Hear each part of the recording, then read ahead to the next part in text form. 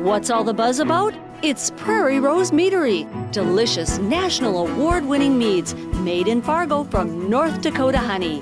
Mead is a flavorful blend of a honey base infused with various fruits and spices to create a fermented honey wine. Enjoy a glass in our tasting room or choose bottled mead in one or more of our current flavors, including the new Star Anise. Make a beeline to Prairie Rose Meadery on Facebook, online, and open Thursday through Sunday.